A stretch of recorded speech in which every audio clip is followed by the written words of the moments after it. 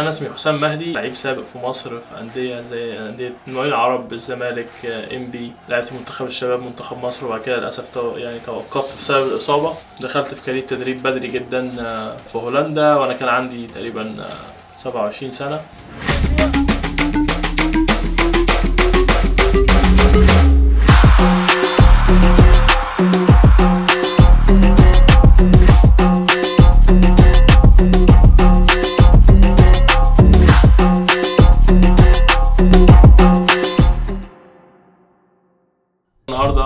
هتكلم معاكم في حاجات تخص قطاعات الناشئين بشكل خاص يعني وأولادنا الصغيرين بشكل خاص. في سن البراعم لحد آه، تقريبا 18 19 سنة هنركز في المرحلة دي جدا لأن دي المرحلة المهمة اللي محدش بيركز فيها للأسف. كمدرب كلاعب ك... كأي حد في منظومة كرة القدم لازم يهتم بيها عشان ده اللي بيكمل وده اللي بيبقى النواة لكرة القدم في أي بلد. جالي أسئلة عن آه، اولا أنا إزاي أصلا أعرف إن ابني موهوب؟ وإزاي أقدر أحكم إن ابني يقدر يلعب في أوروبا؟ وإيه المقارنات؟ وإيه الاختلافات؟ ولازم أعمله عشان نوصل الحاجة دي. خلينا نتكلم عن الأول إزاي إنك تعرف إن ابنك موهبة. عموما الموهبة موجودة في أي مكان. اللي دايما بيفرق موهبة عن موهبة هو الاهتمام بيها وإن إزاي تحافظ على الموهبة دي عشان توديها أبعد حاجة في كرة القدم واللي تخليه لعيب محترف. بتبدأ من سن صغير جدا جدا جدا. اللي خلينا نتكلم إن هو سن فيه بتبدأ من ست سنين في بتبدأ من خمس سنين. بس إحنا خلينا نتكلم إن سن 8 سنين هو اللي بتبدأ اللعيب يلعب فيه تقريبا مسابقات فهو السن ده اللي إحنا لازم نركز فيه جدا على تعليم أساسيات كرة القدم. فلازم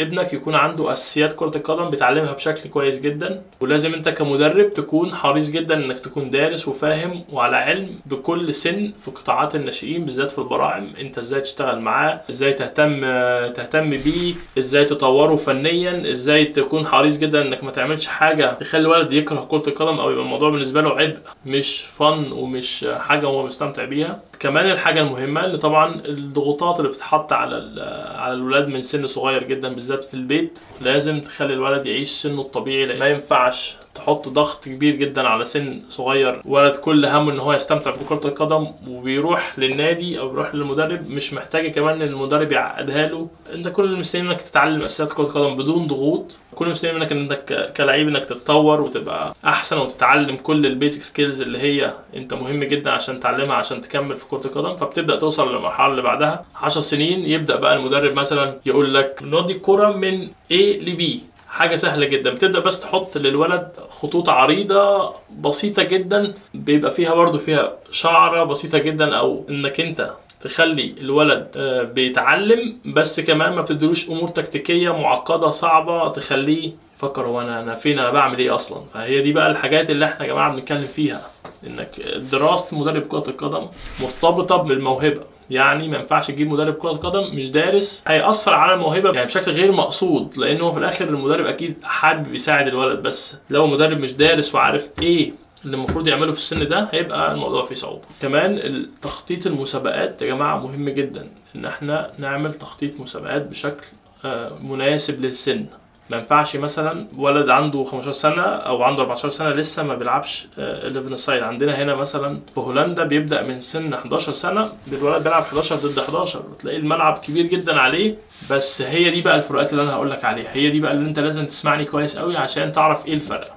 في مصر الولد تطوره متأخر. يعني إيه تطوره متأخر؟ يعني بيبدأ آه، يلعب ماتشات اللي هي 11 قانونيا يعني زي ما بنقول عليها في مصر بشكل متأخر. فبتأثر على التطور بتاعه آه، فنيا تكتيكيا البوزيشن الحاجات دي كلها اللي هي بتبقى هنا. الولد تحت 10 سنة بدأ فيها بدري جدا وبدأ فيها ما تحطش عليه ضغوط. يعني ما كناش مستنيينك إنك أنت تكسب وإنك أنت تبقى تاخد البطولة. لا إحنا بنقول لك واجبات كل مركز بسهولة ببساطة. إيه اللي أنت المفروض تعمله؟ إيه اللي المفروض تعمله في حالة الهجوم؟ في الدفاع في التحولات من الهجوم للدفاع في التحولات من الدفاع للهجوم. إيه اللي لازم تعمله؟ حاجات بسيطة جدا في ال positions بتاعتك. إنما تكتيكيا. وطرق لعب و formation مختلفة والحاجات دي كلها إحنا ما بنحاولش نعقد بيها الأمور. وعلى النقيض في مصر بقى هتلاقي إن الولد بيلعب مثلا 11 سنة لازم تكسب ولازم هدفنا الأول هو المكسب. مهم جدا إنك تحط ضغط على الولد وكمان إنك أنت تعلمه وتأسسه. فأنت ماشي في أنهي اتجاه؟ هل أنت كمدرب ماشي في اتجاه التأسيس والتعليم ولا أنت ماشي في اتجاه إنك أنت عاوز تكسب عاوز يبقى طموحك ال- ال- الشخصي هو الأهم ولا أنت بتشتغل للاعب؟ هي دي برضو بتختلف بتختلف من مدرسة لمدرسة. آه، هنا في هولندا مفيش مفيش كده. في rules بتتحط لكل سن. المدرب بيشتغل من خلال ال- ال rules دي. ما فيش حد بيقدر يكسرها. الاتحاد الهولندي بيجي يبص على آه، الحاجات دي إذا كانت بتطبق ولا لأ بشكل أسبوعي. يعني هتلاقي في كل ماتش في حد من الاتحاد الهولندي قاعد بيتفرج على الماتش بيشوف كل حاجة ماشية صح آه، وبيدرسه وبيطوره فهي دي الاختلافات. في حد هنا قاعد على طول بيدرس إيه اللي لازم يتطور إيه اللي لازم يبقى أحسن وفي حد الناحية التانية قاعد مفيش تطوير مفيش آه، مفيش اهتمام بالموهبة. فيبقى الموضوع صعب جدا. وخد بالك ال- ما ينفعش نحط المسؤولية على حد دلوقتي أو حد من خمس سنين أو حد من عشر سنين الموضوع بادئ من زمان جدا. إحنا عندنا نقص في تأسيس الموهبة.